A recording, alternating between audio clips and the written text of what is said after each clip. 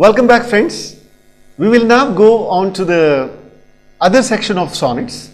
We have already seen the Shakespearean sonnets. Now let's see the Italian sonnets, the Petrarchan sonnets, some of the old sonnets, uh, the oldest sonnets ever written, with the example of John Milton's On His Blindness.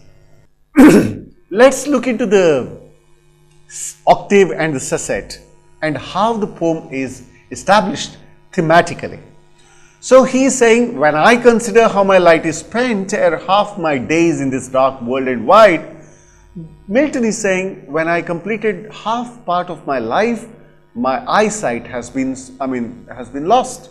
And as a poet, he cannot live without looking at the world outside.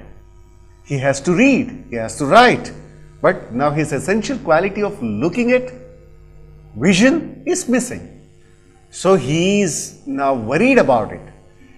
He, I mean, see, when you are lost with your talent, which you are given with, it is death to hide, lost with me, used all the talents that are hidden inside inside himself is now is now going useless.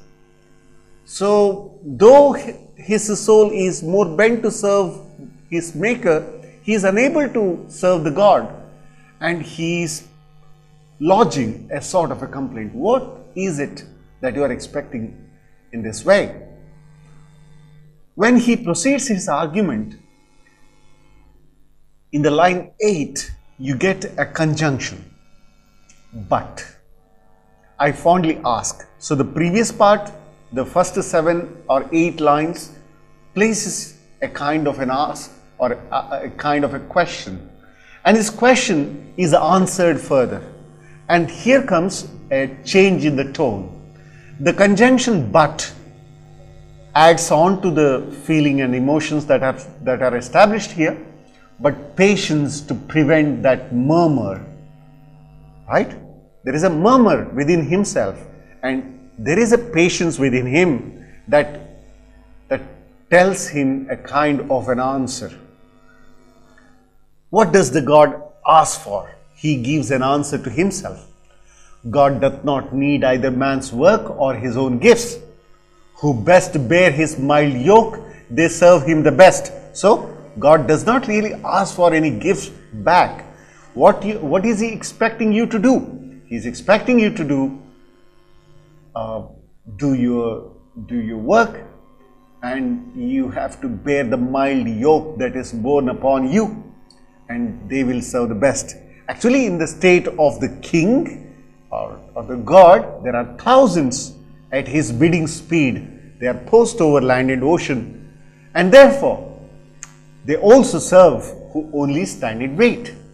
You can see very interestingly a quotation mark beginning and then closing here, that as a reply within himself on the question that is asked, fondly asked previously. So this sestet uh, that is provided here is also serving as an answer. Now let us come to a comparison of the Shakespeare's Sonnet 116 and Milton's On His Blindness. Both are 14 line poems and they have a bit of variant in uh, the rhyme scheme. Um, you can see uh, the sonnet 116 in three quatrains and a couplet and On His Blindness by John Milton with an octave and a sestet. So when we compare this further, we will see one type of sonnets that we have is that of English sonnets as it is been called because most of the sonnets written in this format with three quatrains and a couplet is by William Shakespeare. This is also called Shakespearean sonnets. And the other sonnet that we have uh, at the moment, uh, Milton's His Blindness, is also called Italian sonnet, also known as Petrarchan sonnet because of the one who proposed this kind of a poetry for the first time in the 14th century, Ita uh, Italian poet, Petrarch. So to mark the distinction between the two, uh, two sonnets once again, the English sonnets will have three quatrains uh, with the concluding couplet with the rhyme scheme of A, B, A, B, C, D, C, D, E, F, E, F and G, G. Whereas the Italian or the Petrarchan sonnet will have two main parts, an octave of 8 lines rhyming A, B, B, A, A, B, B, A followed by a sestet 6 lines rhyming C, D, E, C, D, E or with some variants such as C, D, C, C, D, C.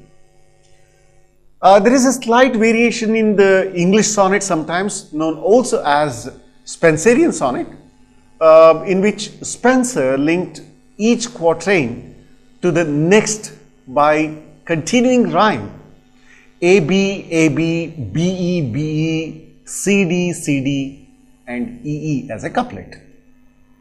There are so many poets who wrote sonnets in a sequence and they are also called sonnet sequences. Uh, Shakespeare wrote sonnet sequences, Murray has uh, sonnet sequences, Milton's sonnet sequences are available. There are number of sonnet sequences available which are also called sonnet cycles. I hope we have now the structural feeling of what sonnets are, how they are structured, about its uh, metricality, about its rhyme scheme, the major varieties of sonnets that we have in the English language. These, this, this type of poetry has been also translated into number of languages of the world. The Kannada translation for that matter, uh, in Kannada, sonnets are also called Sunita. ಶೇಕ್ಸ್ಪಿಯರ್ನ ಸುನೀತಗಳು is available as the Kannada translation of Shakespearean sonnets by, translated by one of the renowned poets of Kannada, Dr. N.S. Lakshminarayan Bhatt. You may read several of the sonnets being translated by freelancers here and there, available publicly for reading in the regular in the journals and periodicals. Thank you very much for the patient hearing, listening to what sonnets are.